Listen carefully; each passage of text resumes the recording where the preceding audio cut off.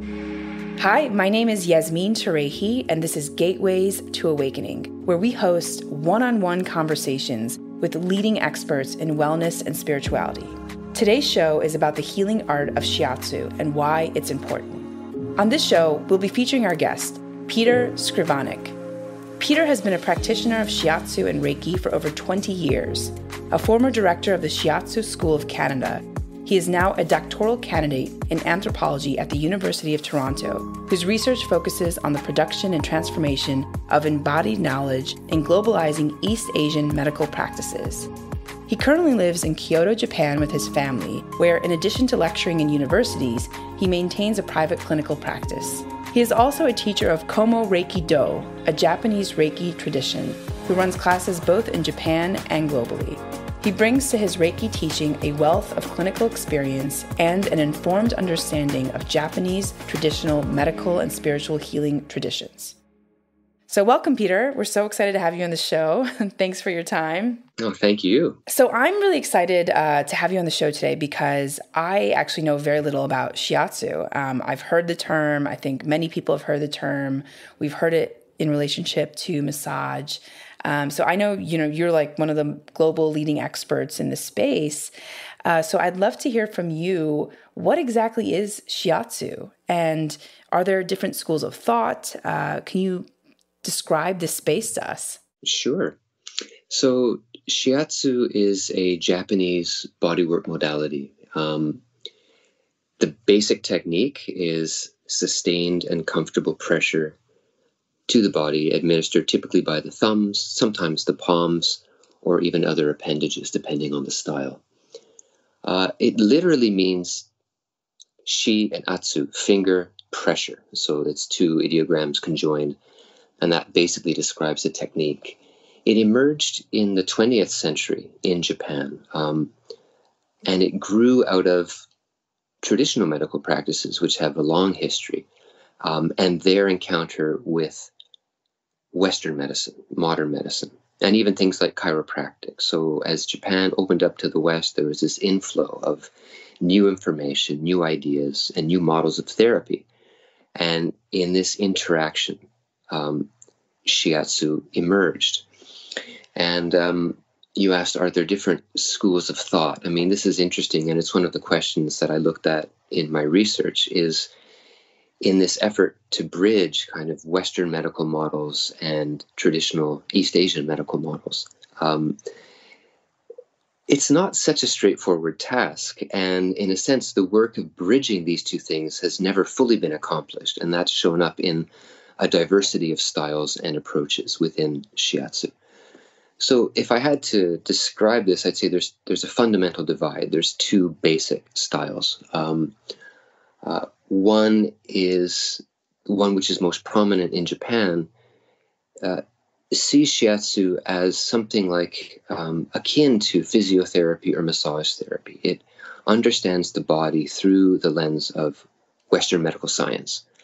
And so shiatsu's effect is described or explained through its impact on the nervous system, on local tissue, on structure, skeletal structure and alignment, these kinds of things.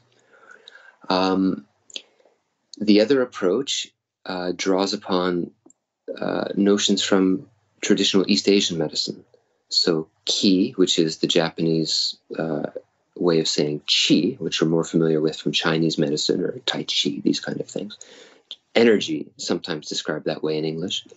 Um, meridian pathways, points of acupuncture, these kinds of things. So, that figures more in a different style of shiatsu. Interestingly, that style, which favors the East Asian medical practices, that's more popular in the West, in Europe and North America, whereas the style that that you know um, foregrounds biomedical Western medical um, features is what's prevalent here in Japan. Um, so yeah, that's the basic lay of the land. Wow, interesting. Um, so I, am curious. You know, you mentioned that it has impact on the nervous system, and um, can you talk a little bit about that specifically before we dive into you know why we think this topic is important? Sure. So in the early post-war years, um, this could be a very long conversation, but to sort of shorten it, um, Japan was occupied by the United States, and um, uh, the occupying forces had a number of objectives. I mean, one of them was to change the Japanese political structure and to uh, promote something like a, uh, a, liberal democracy, and one, of course, that was you know more friendly to the West. Um, another thing they did was they the, the, forces looked at what was happening in Japan as a nation and they sought to kind of intervene in and to modernize the public health infrastructure. And so S, SCAP, the Supreme Command of the Allied Powers, that was General MacArthur's office, they sent public health people out to Japan to do surveys about what was happening in the Japanese health landscape. And they came back with um, reports of an abundance of different kinds of therapies. Among them were things like anma, which was the traditional massage in, in Japan, and that was often practiced by the blind, as was acupuncture. And they thought this the, the notion, I think, of blind, like non sighted practitioners practicing acupuncture and massage was startling for them. And in some of the published reports, I mean, they used words like barbaric to describe these medical practices. And so there was a move to ban them outright. And so people mobilized. And one of the things they did was to try to explain these traditional therapies in ways that you know these health authorities public health authorities could understand so some japanese physicians and researchers said we don't quite know exactly yet how this works but these are some of our theories and so a temporary reprieve was given for some of these therapies, and research was actively pursued, um, um, led by certain Japanese scholars. And the people who researched shiatsu um, were also trying to figure out how shiatsu was different from the traditional anma form of massage out of which it grew. Anma features a lot of rubbing and circular pressure, where shiatsu is this stationary, sustained pressure. The most marked difference that they found was the impact upon the nervous system, in that shiatsu technique uh, profoundly influenced the parasympathetic branch of the autonomic nervous system. This is commonly called like the rest and repair branch versus the fight or flight branch. So it tends to um, you know send blood a bit deeper, like away from the ex- like the extremities and the muscles, more into the organs. It promotes a resting response. And that was quite different from the other massage uh, that was investigated. And it was deemed a significant enough clinical finding that it ultimately led to not only shiatsu being regulated, but being recognized as a discrete uh, modality all on its own. So, short short version of this, right? It tends to promote the autonomic nervous system, the parasympathetic branch, the rest or repair. How that feels as a patient is typically after a treatment, people will feel deeply rested, sometimes a bit cold, um, sleepy, um, sometimes quite tired, like they just need to go have a nap. Um, but this is the impulse is that the body's doing things kind of inwardly to rest and repair itself. Why do you think this topic is important? I mean, why has uh, shiatsu gained such popularity globally? I could answer that two ways. I think once one as like a as a researcher, um, I think it's important and interesting just because of the like the historical context I talked about that that encounter, how Western medicine encounters traditional medicine, and what happens then. We're we're, we're in a time where biomedicine is is global, and everywhere in the world, traditional medicines have to contend with biomedical categories, um, biomedical power, and they have to sort of recreate themselves in in light of the pronounced understandings of the body and illness that biomedicine provides. And I just find that kind of negotiation kind of interesting and, and significant. More broadly, I mean, as someone who's also been a practitioner, um, you know, I love shiatsu because of how it makes me feel and how it makes people feel. Um, my my first treatment um, happened while I was in Japan. I came to Japan after I graduated um, from university for a short stint as a as a teacher, and I went and got a treatment and I'll never forget it. I mean, I felt utterly different. I remember uh, walking home alongside the river and uh, realizing that, my God, I, I'd been in a hunched posture for most of my life, but suddenly now I had this this freedom structurally. I was my posture was naturally more erect. I was breathing in a way that it was full, and I, I just like I hadn't done that before. And the colors seemed brighter. I don't know. Kids were flying their kites above the river. It was kind of a wah wah moment, but it was, but it was definitely um, it made this powerful impact on my sense of embodied awareness, and that's what stayed with me. And I think people who are looking for more like body mind integration or for um, ways to recognize and support um, a more holistic way of being in the world, modalities like shiatsu can be very, very helpful. Wow, I, w- I want to go schedule a shiatsu appointment right now after your explanation. You know, I think. oh, great. I think you know I've I've noticed that a lot of different um, places offer shiatsu, and I'm thinking that not all of them are created equal in at least the United States, and um, I'm just curious, you know, when you go in to get a shiatsu treatment, is there some type of certification that we should be looking for? That's a great question. Um, and it really depends on your jurisdiction. So there's a standard for training in Japan, and that's really only available in Japan through a Japanese vocational school. Outside of Japan, it's taken very different courses. So um, I, I, did my study in Ontario, uh, Canada, which actually had probably the highest standard of training outside of Japan. My program was 2,200 hours. It was two years full time, and it was extensive. A, a, lot of sciences, a lot of you know everything. We had a a basic like pre med school biomedical education. You know what you might get if you were going in to be like a dental hygienist or, or a nurse practitioner or something. So a, fairly decent understanding of anatomy, physiology, pathology, all these sorts of things. And then the practical training and in, in shiatsu itself. But there are, in most jurisdictions, not necessarily laws that cover that. So people have been fairly free to create their own programs.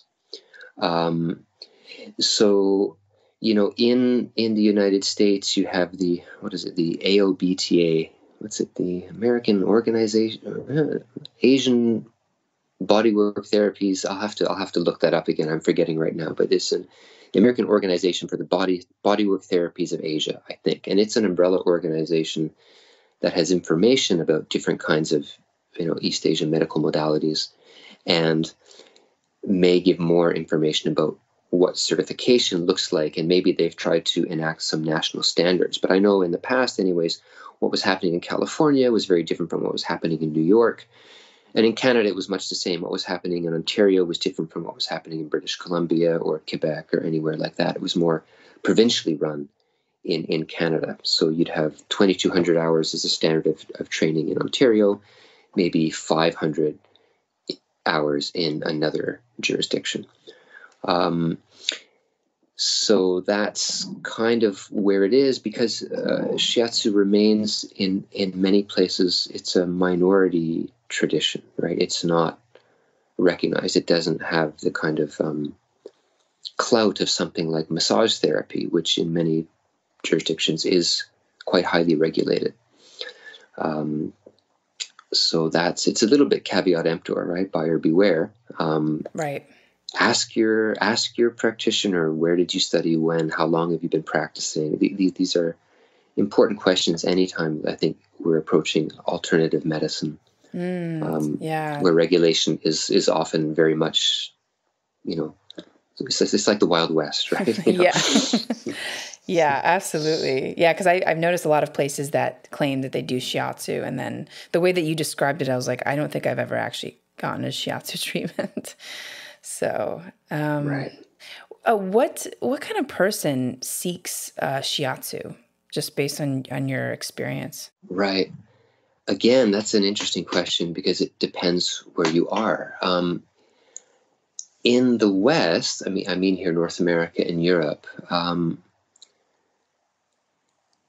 I guess the majority of the patients are women. Um, I think in general, women tend to see complementary and alternative medicine more often than men do. Um, this has been cited in numerous studies, and there's probably multiple reasons for this. Um, I think it's worth noting that in in the West, uh, women also tend to practice what we might call holistic forms of spirituality uh, more eagerly and more often than men do.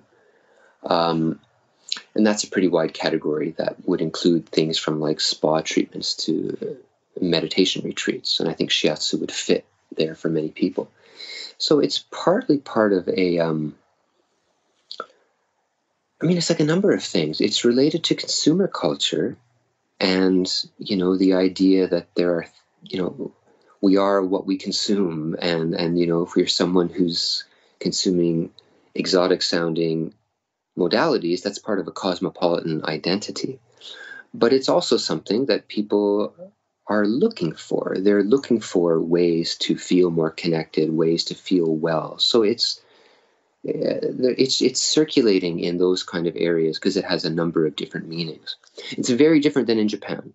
If you come to Japan, shiatsu is more understood as a modality for old people, which was um, a, a, bit of a shock for me when I was living in Japan the first time. You know, I had that treatment I mentioned, and I got really excited about it. I started to study informally with some teachers here, and I told you know some of my colleagues at the school where I was teaching, I think I'm I'm, I'm going to study shiatsu, and and they were so puzzled. They're like, why?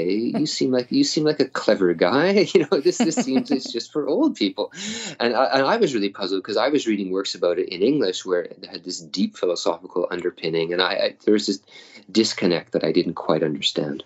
Um, but it's partly about the generation here where shiatsu gained prominence and um, became well known and um, sort of well regarded by people and and it hasn't maintained the same high profile um, and um, so, and it's sometimes you might see this that you know in different countries in India or something. You know, I mean, some people might say, well, like Ayurveda. Well, maybe my grandparents are more into that, but younger people are more into other alternative medicines or in contemporary uh, modern medicine. Right? It might seem a bit old-fashioned for some people in Japan who are looking elsewhere for something that's new and exciting.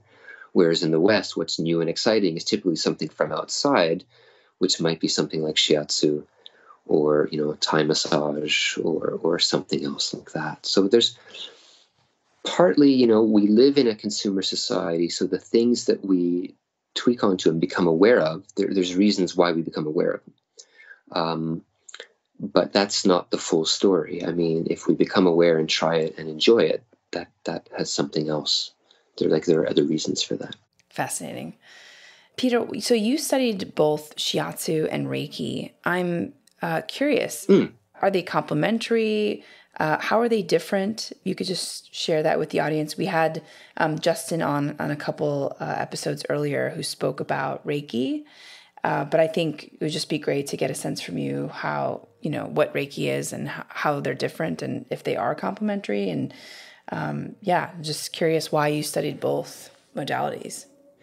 Yeah, I mean the relationship between Reiki and Shiatsu is is interesting, and I think the full story has yet to be written. Um, there, there's a scholar here in Japan whom I was speaking to, and, and he was pointing out for me some of the linkages between these two modalities, which I myself had not been aware of previously. So there, there's work to be done there, but they both arise around the same time. So um, Mikao Usui, the founder of Reiki, sort of brings it out around 1923, if memory serves. Uh, Justin Stein would be the person to, to go to about that. Shiatsu, the first book written about Shiatsu, is published in 1919, so within four years. So they both emerge in this same period where, again, there's been um, a pronounced influx into Japan of material from the West, sciences, um, you know, political organizations and structures, all kinds of ideas, books. Japan has become newly literate, and um, you know, there's like a, a novel education. There's a newly formed middle class who are learning how to read, And even now today, Japan's literacy rate is among the highest in the world. And all these people want to read, well, they need stuff, right? And so right. translated material from, from the West was really intriguing for people. And um, so a lot of stuff was circulating. And on one sense, there was like a reaction where people who were involved with more, you know, traditional modalities wanted to preserve or to push forward um, what they were familiar with, and maybe to try to translate it or broker it in into this new language and these new terms that were suddenly circulating. Anyway, so that that's just a bit of background. Pardon me. They they come from a similar milieu. Um, they're different in that shiatsu is body work okay? And it's it's typically it involves pressure. So it's pressing onto the body leaning onto the body most therapists would tell you. Not using muscular strength but your whole body weight. And working through the body from you know head to toe front to back um, applying this pressure. So there, there, there's a physical pressure. Reiki tends to be you know you just rest your hands on the person. So the, the idea of Reiki is that the, the practitioner is holding and channeling kind of universal life energy, Reiki, into the patient. In Shiatsu, it's it's more mechanical, although there are ideas of ki. The practitioner may be sharing some ki or at least identifying places in the patient's body mind where ki is stuck. So, for people who practice um, um, a style of shiatsu that focuses on the meridians and on East Asian medical theory, Re- Reiki is a very natural complement. It's it's working on these same energetic structures, but just with a slightly different approach. Um, so, in that sense, they're very complementary. If people draw a very hard line about shiatsu, like some practitioners in Japan do, and say, no, it's an anatomical therapy, some of these practitioners don't believe in ki, they call it superstitious, then they'll, they'll say the same thing about Reiki. And they'll say it has nothing to do with shiatsu. So um, it really depends politically how people stand. You know, for me, um, as I became more personally interested in the kind of um, East Asian medical aspect of shiatsu, so meridians, points, energy, um, I was doing my own self cultivation to enhance my sensitivity and my ability to work with this effectively for my patients. And and Reiki fit with that. It's it's to me it, it is as much a self cultivation practice as it is a therapeutic modality. And um, and so yeah, I, I you know began my study of Reiki. You know that that's a really interesting process um, that you know different people experience differently, but it can open up certain kind of perceptions or kind of sensory skills for people. And that fed into my shiatsu practice and inclined me to keep searching and practicing and training to work more effectively with ki in mm. my hmm. patients. Beautiful. So, uh, Peter, when a patient walks in, can you actually walk us through what the entire process looks like uh, for treatment? You know, uh, do is there an intake? Um, you know, how does that work? Is it just kind of one size right. fits all? well, again, depending on how people are trained, I think there is variation. Certainly, um, you know, in my training, uh, quite a premium was placed on uh, that professional aspect of therapy, taking good intake, keeping good records, you know, inquiring about medications, uh, you know, liaising even with GPs. I mean, I've spoken to my patients, you know, uh, primary health providers before to explain what the therapy was and to uh, to talk to them about a treatment plan. I mean, that that was part of the training or what the training aspired to. Um, but basically, yeah, you sh- there should be some kind of intake process when the person comes in to inquire both about any presenting complaints and why they're coming for therapy, but also you know any you know health history information that's important. Um, once that's done, and then the therapist ought to explain to you if it's your first visit what shiatsu is, what it entails. Um, treatment can start in short order. Clients remain clothed in shiatsu. It's the treatment is administered through clothing, often even with like maybe a light sheet over top of the person. Um, And it may be performed on a massage table or it may be performed on a futon on the floor, um, depending on how that practitioner trained and uh, and you know what the style of, of their clinic is. And then you know basically, again, the basic idea is it's it's a whole body treatment of sustained, ideally comfortable pressure to points distributed across the whole body that may occur in a certain kind of sequence. And depending on the patient's complaint, the therapist will modify that to maybe focus on local areas. They may incorporate stretching or range of motion testing, or you know, maybe someone will add a bit of Reiki. But strictly speaking, shiatsu will be pressure and stretching, and usually it lasts you know 50 minutes to an hour, depending on the um, on the practitioner and the, the circumstances of their practice. People who practice the more uh, East Asian influenced model of shiatsu will do um, abdominal diagnosis. This was a very prominent um, innovation developed by a, a, famous therapist called Shizuto Masunaga. And this in, uh, consists of gently palpating zones of the abdomen to try to feel if they're replete or deficient. And this is how shiatsu therapists read the function of the meridians in the body. So it's it's akin to what acupuncturists do when they they feel the pulse. They're trying to determine okay what what systems are most out of balance. With shiatsu, it's touch based on the abdomen, which in general is is a modality that has a long history in Japan. Abdominal diagnosis is probably the most distinctive difference between Chinese style medicine in Japan and in China. Um, and it's uh, certainly since like the Edo period, like the 1600s, it became uh, very prominent, although it, it predates that as well. Fascinating. Yeah, I've I've actually never encountered anyone who's done uh, that abdominal test uh, in the West, and I've tried many many different types of modalities. So that's super interesting. Oh, okay. Yeah, very mm. interesting. It's it's not easy.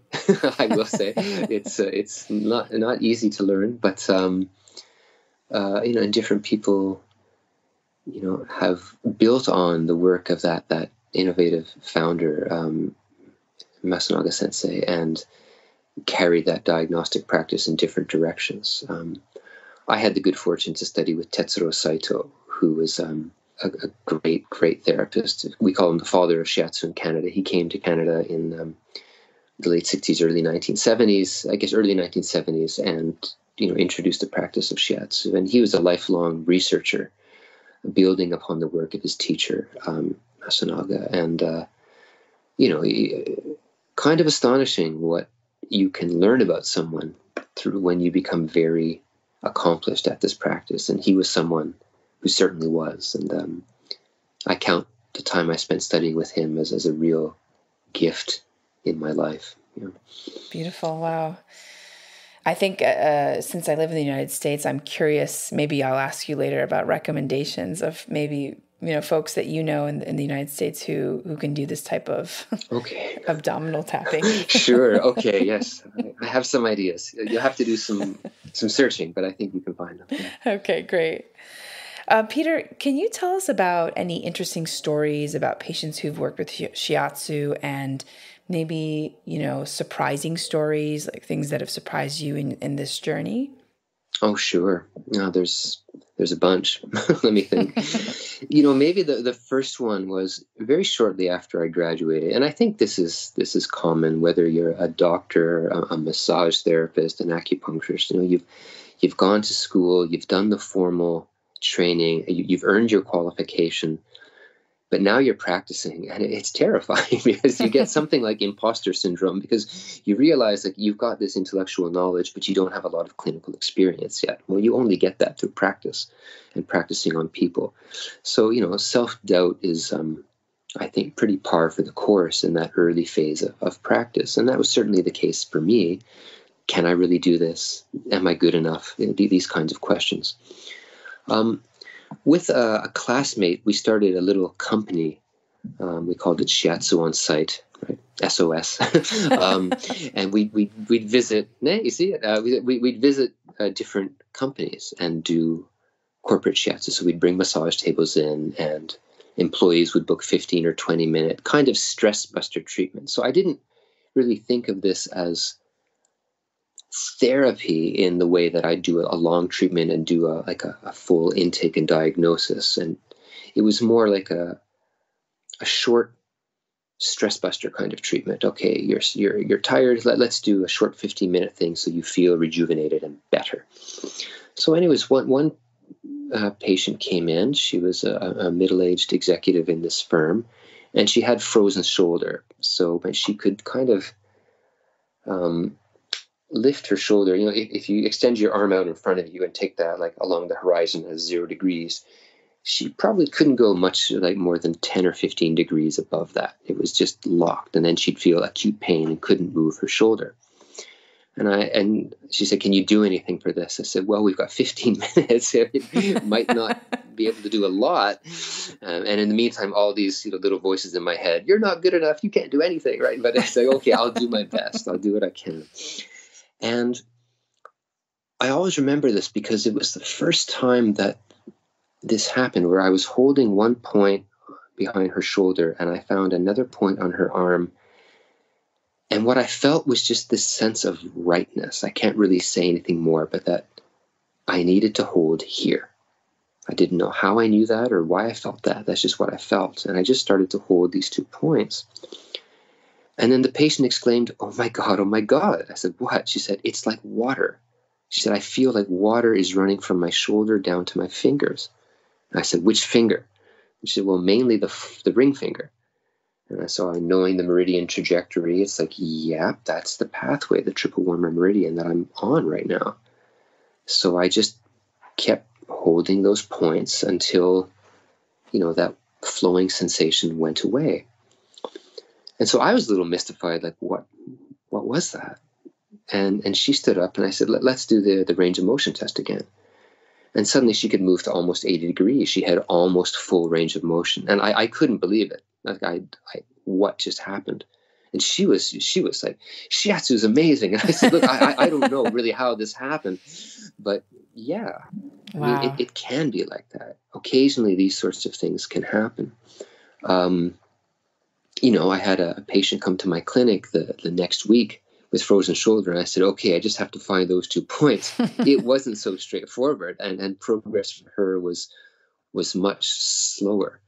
Um, so but it was a kind of a, a, gift experience that that really um, opened my eyes and, and, gave me a boost to say okay this modality works and and if i trust it and just do my best you know i'll be able to help people and i'll get better and better at this as i go along um, one more story, if there's time for it, uh, from my, my research, and I've written about this in one of my, my published articles. Um, a, a, therapist whom I call Randall um, told me this story in an interview, and it's striking because it really shows this this idea of the kind of the mind being in the body, and there's this inseparability of the two that is a hallmark of a lot of East Asian medical thinking. So the way he told the story is a patient came to see him, and um, it was her first shiatsu treatment, and she said, "Oh, I'm." Her complaint was a sudden outbreak of eczema on her arms, and he said, "Well, you know, that's shiatsu is probably not the modality of choice for that. You know, you might want to look at some herbs or, or you know, something, or maybe even a topical corticosteroid for eczema. But you're here, and he could tell that she, she seemed stiff and a bit distant in her bearing, so she wasn't balanced in her ki. He said, I, am you've come this way, so we can certainly do a treatment, but for your eczema, you might want to do something else. So she, she was agreeable to that. So she lays down and he starts to do this abdominal diagnosis. And briefly, the way this works is there are 12 zones that correspond to the 12 meridian pathways. And over her large intestine meridian, he said he felt this very distinct, like emptiness. He said it was like it was just a, a cave hmm. below his fingers when he's pressing. And in, in the Chinese medical view, which you know shiatsu has some historical connection to, the lung and large intestine are paired, and one of the things they govern is the skin.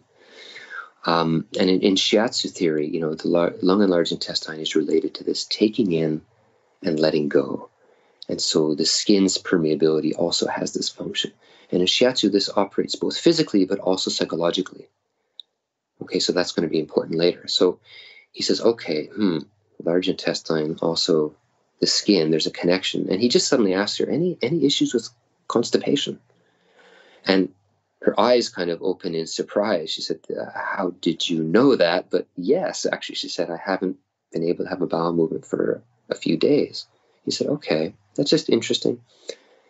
But something in how she spoke and her tone in, kind of nudged him to inquire a bit deeper. And so, pressing the zone again, he said, Any issues in your relationships about letting go? And the way he described it, she looked at him and then she started crying. She cried and cried and cried. And the story emerged. Three or four days previous, her fiance had suddenly cut off. Oh. They, they'd broken up.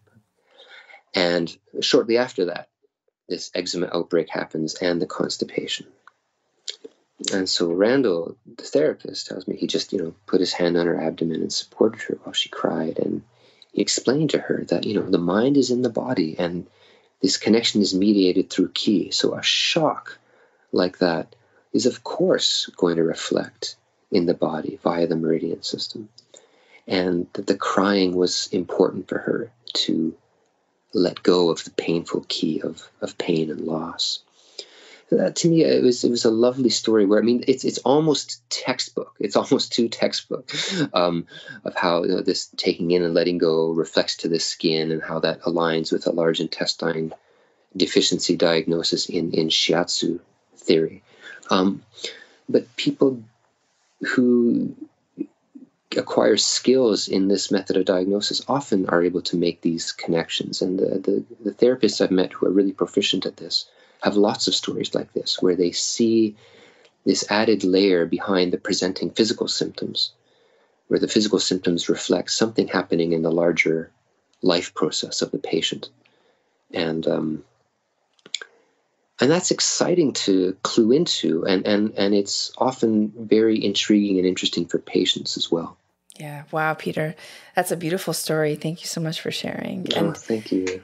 and it, you know, it's uh, it's in the West. It feels like a lot of um, Western doctors only focus on the physical, and I think um, you know this practice, like Reiki, and like you know, there's a lot of other Eastern practices that uh, take in both the spiritual and the emotional body in consideration with the physical. So uh, I so appreciate um, the lens, this lens, because I think it's it's very much needed in the West. I think the West is extremely advanced when it comes to the physical, but not you know the emotional and the spiritual. So, and it's all like you said, it's interconnected. So, right. You know, I mean, I think one of the things that that enabled scientific medicine to make such advances was precisely because it made that distinction, right? It made that separation, and and in early time of modern medicine, you know the mind or the spirit that was relegated to the church and and early medical researchers focused on the body and they focused on you know doing like you know dissections and things like that actually getting into the pathways of the body and representing it and looking at what what do pathologies look like with the naked eye and then with microscopes and so that's been the the the area of investigation. And it's it's tremendously powerful. Like i'm like you. I think it's brilliant you know. I mean no traditional medicine's ever been able to replace a heart right, um, right. that that's that's just amazing. Um, but there there are some costs. So then from the church then it went to more like psychology and and you know, um, you know psychiatry to look at then the mind um, but now, you know, there, there's increasing efforts to sort of bridge these things, and whether through biopsychosocial models or, you know, complementary alternative medicines. I mean, people who do shiatsu, reiki, or qigong are increasingly finding places within Western medical health infrastructures where they can find a role. You know, whether it's working with people with PTSD or in in hospitals. There there are trials going on in, in numerous hospitals where you know Reiki practitioners work while someone's under surgery or while they're recuperating. You know, or people who cooperate. There's still work to be done to figure out, you know, how and why these things work in a way that's satisfactory for Western minded physicians. You know, I mean, they want to know why this works, and that's a completely fair question on their part. Um, there's just a lot that we still don't know, you know, about the mind and the mind in the body. Um, but body work can really make that obvious.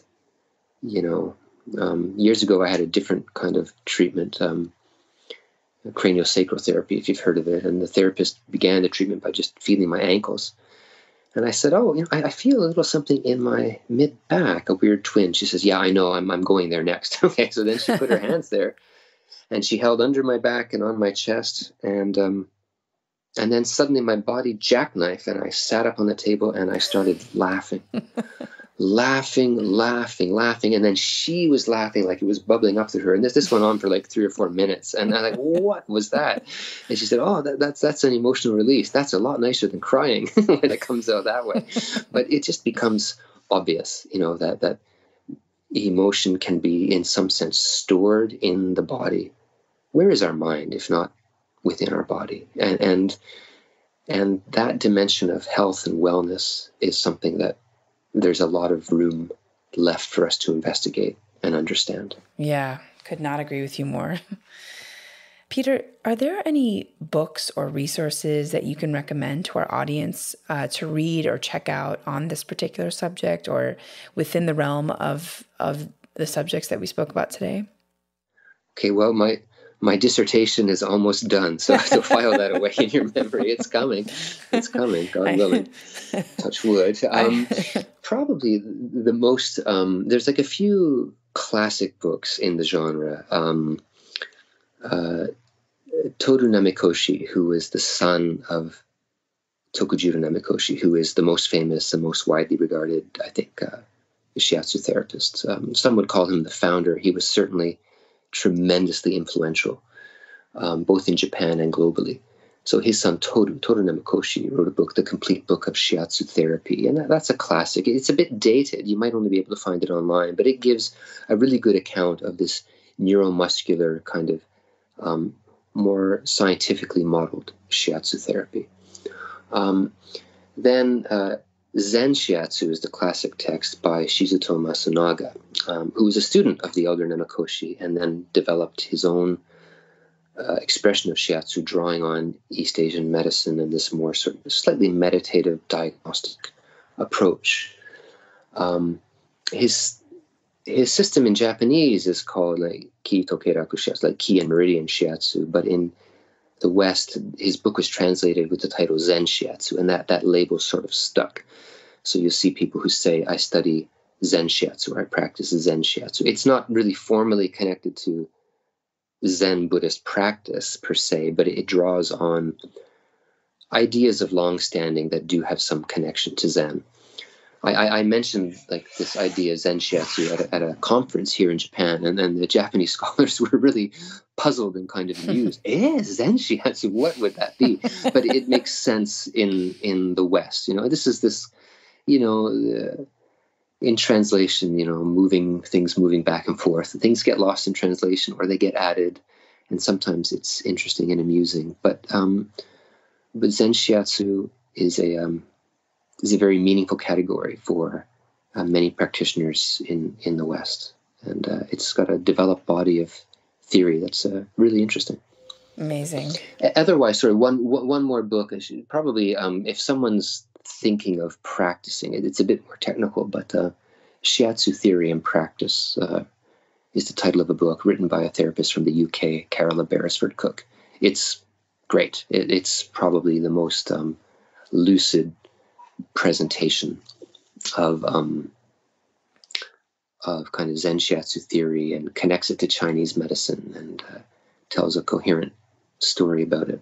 Wow. Okay. Um, yeah. Wonderful. Well, we'll check that out. Um, and I, I, imagine that these books, like the last book that you mentioned, is not a, a self study course, right? You couldn't read the book and and perhaps perform shiatsu, right? right? It, you need the supplement of in person. You know that that's interesting. I mean, the the the therapist I mentioned, Tokujiro Namikoshi, you know, he actually rose to fame in Japan in the 1950s and 60s. He had a television show or a slot on a famous afternoon television show where he'd present simple home remedies. So shiatsu has been understood as a kind of home remedy in Japan for some time. The idea of you know maybe treating some special points or, or you know, massaging and, and in, in general massage is more familiar as a mode of self-care for Japanese people. So if you're ever in Japan and you go to a hot spring, the onsen, um, you know, this is like kind of public bathing. You, you shower and clean yourself first, and then you collectively soak in these big, large tubs. You'll often see like a like a young child being called on to rub their grandfather's shoulders or something like that, and it's a very kind of natural kind of um, almost like a family ideal in Japanese society that you know the younger can take care of the older by massaging their shoulders, and many people develop a kind of a, a knack for that, and this so that massage as self care is kind of not unknown here. But having said that, to learn to do it well, you need to study with a qualified teacher because the technique is ultimately that you're applying your your body weight behind your palms or your thumbs to the patient. And if you do that inappropriately, like on a thoracic, on like a you know cervical vertebrae or on a floating rib or something, right. you, you, could cause a damage, right? So you need to know what you're doing. You need to know what do you do if someone is, you know, three months pregnant. Do you treat or not? So there are indications and contraindications that people need uh, to know about. So yeah, professional training is, I would say, essential. You can do a basic course where you get enough um, instruction in how to do it safely that you can treat family and friends. I, I, used to teach something like this at the Shiatsu School of Canada. We do like a, a 30 hour course where we were we limited it in scope in what we taught people to do and we were strict about what you were not to do and then we practiced a lot so that they could safely and comfortably deliver a basic treatment and that that's kind of as home care is is lovely but to really realize the therapeutic benefits, you need someone with more training than that. Yeah, makes sense. Makes sense.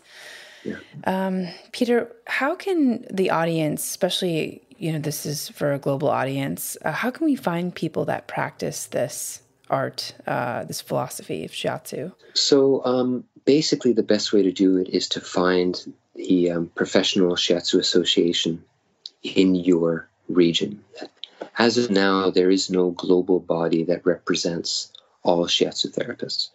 Um, and again, even in, in, in Canada, for example, it could be there's an association on the West Coast, one on the East Coast. When I was practicing in Toronto, there were five different professional associations in the in the province of Ontario alone. Wow. And this reflected partly political divisions and different standards of training that schools were offering, and, and um, it, there was a little bit of factionalism happening. I think that is decreasing now. Um, if if one is in Europe, for example, um, they have a good system there. The ESF, the European Shiatsu Federation, is like an umbrella organization, and there's links on their webpage to uh, various national associations where there are like um, practitioner registries. In in the United States, um, again, the AOBTA, the American Organization for Body Work Therapies of Asia, I think. I think that's the acronym. Um, but AOBTA, uh, again, they they have um, a website that explains different East Asian modalities, shiatsu included among them, and um, I think you can link to practitioners in your area.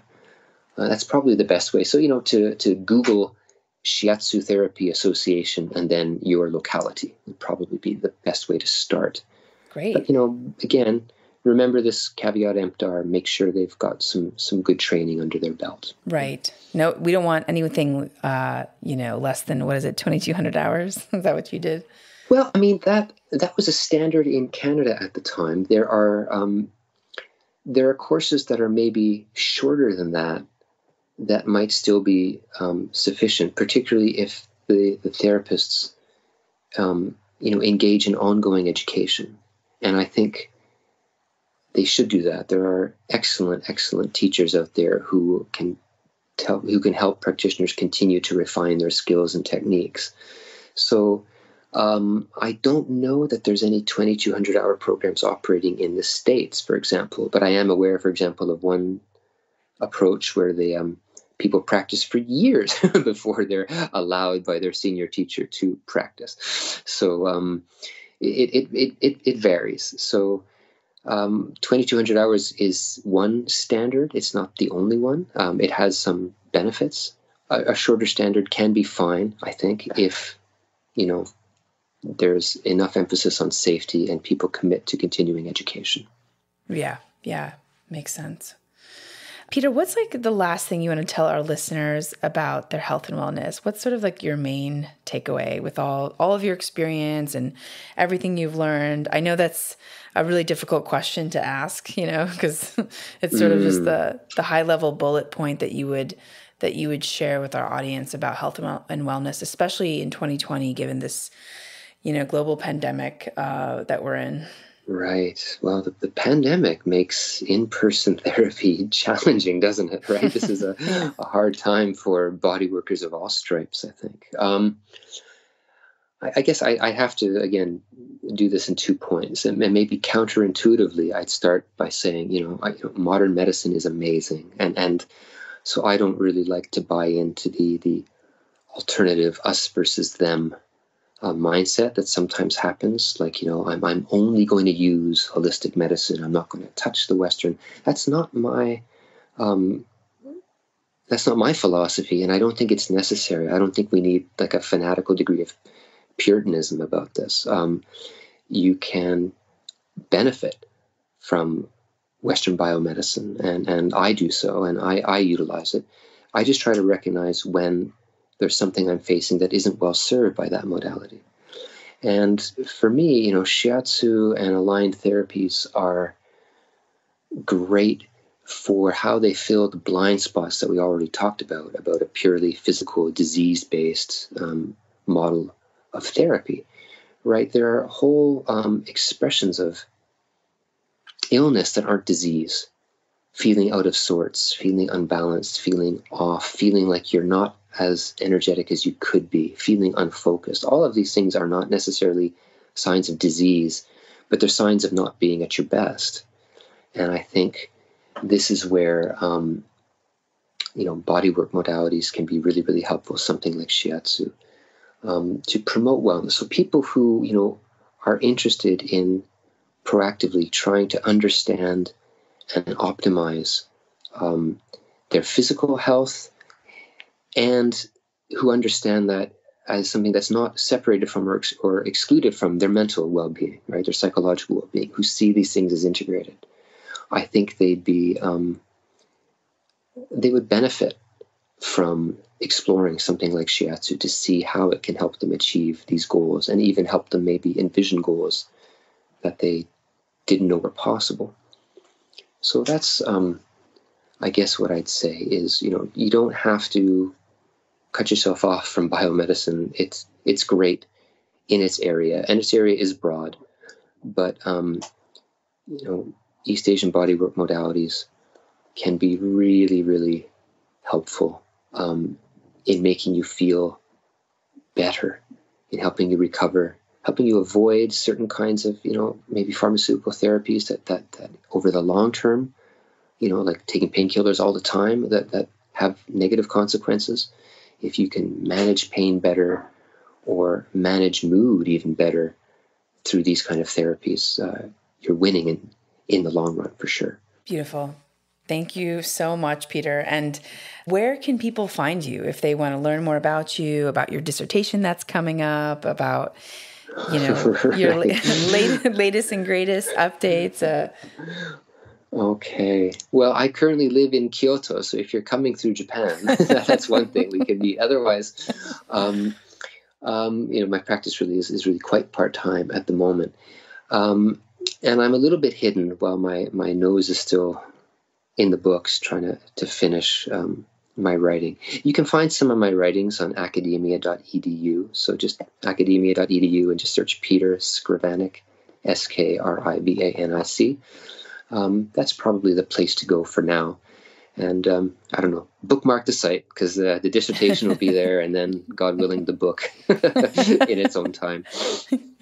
Yeah, I mean, you have such a wealth of information on this topic. I really, I really do hope you uh, you publish a book um, because, oh. yeah, I think especially in the West, we there's a lot of confusion around Eastern practices. So we're really grateful for right. your time and yeah, and thoughtfulness um, when answering a lot of these questions. So thank you so much, Peter. thank you for the opportunity. It was a pleasure. Absolutely. And for our audience, thanks for joining and for listening. In this episode, we learned about the healing art of shiatsu and why it's so important. You can tune in to Gateways to Awakening, where we host one on one conversations with leading experts in wellness and spirituality. Thanks again.